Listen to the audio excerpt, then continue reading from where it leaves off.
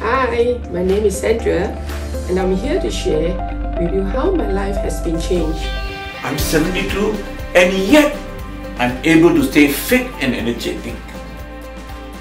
I had severe pain in my both arms and elbows for more than 8 months. I have tried many medicines, but the pain was constant. I had difficulty in getting a good sleep daily and also had sleep apnea. After consuming Nutrisyz Lingzhi Spore oils and Lingzhi Spores powder and extract for about 4 days, it has released my agony of pain and has also boosted my energy level. After taking extra Nutrisyz Spore oil, I was able to easily sleep and wake up with full of energy. It's highly recommended to everyone to consume it.